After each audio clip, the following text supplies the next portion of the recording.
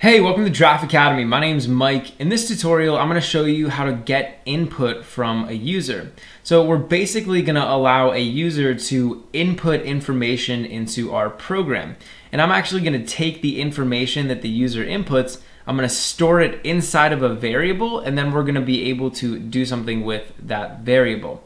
So I wanna show you guys how we can actually go about getting input from someone. And down here in my Python file, all I have to do to get input from someone is I just have to type out input and then an open and closed parentheses. And what this is basically gonna do is it's gonna tell Python like, hey, we wanna get input from a user and Python will allow the user to type in some information. And inside of these parentheses, we can actually type a prompt.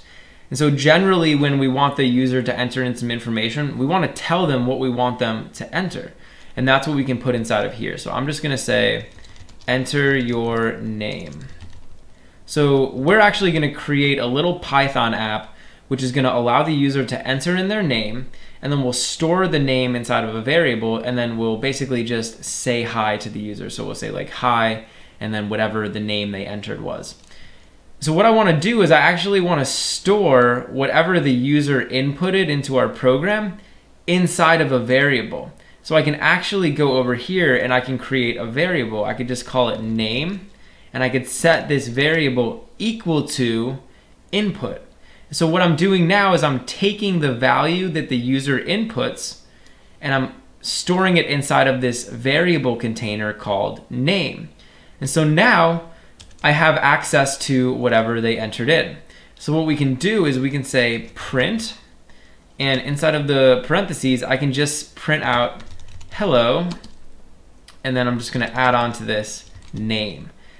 And actually, why don't we put an exclamation point? So essentially, we're getting a name from the user, we're storing it inside of the name variable, and I'm printing it out onto the screen. So I'm gonna go ahead and play this, and when we run the program, you'll notice down here, Python is giving us this little prompt. So it's saying, enter your name. And now in here, I can actually type in a value. So I could type in Mike, and then I can just hit enter and Python's gonna go ahead, store this value inside of that variable, and then it's gonna print out hello Mike. And so this is kind of cool. And actually what we could do is we could prompt the user to enter in more than one piece of information. So I could actually copy this line of code and I'm gonna paste it below here. And why don't we have the user enter in another variable? So we could have them enter in, for example, their age. And over here, we just wanna say enter your age. And so now we're able to get two pieces of information from the user and I can say hello name and then I can say you are and I'll print out their age. So I'm just gonna print age.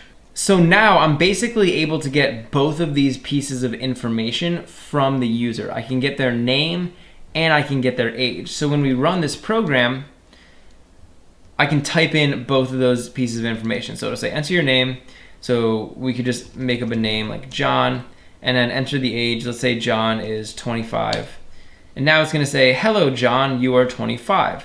So the program is able to get input from the user and then it's able to use that information in order to say hi to the user and tell them how old they are.